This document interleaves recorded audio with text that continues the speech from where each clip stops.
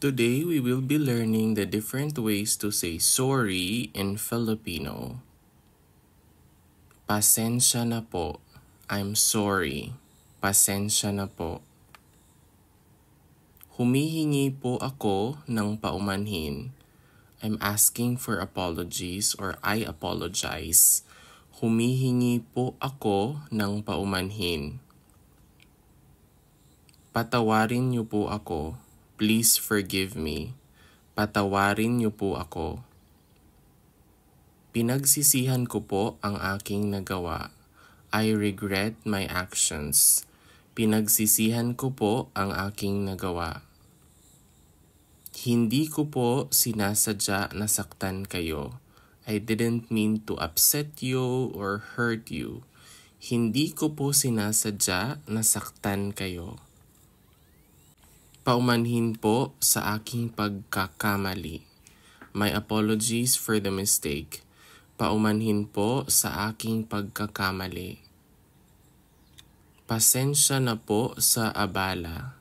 I'm sorry for any inconvenience. Pasensya na po sa abala. Sana po mapatawad niyo ako. I hope you can forgive me. Sana po mapatawad niyo ako.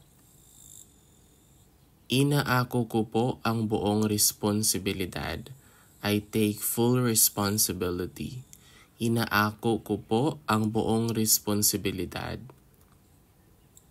Hindi na po mauulit. It won't happen again. Hindi na po mauulit. Mali po ako. I was wrong. Mali po ako. Masama po ang loob ko dito. I feel terrible about this. Masama po ang loob ko dito. Pasensya na po sa hindi pagkakaintindihan. I apologize for the misunderstanding. Pasensya na po sa hindi pagkakaintindihan. Pasensya na po kung nasaktan ko kayo. I'm sorry if I hurt you or your feelings. Pasensya na po kung nasaktan ko kayo.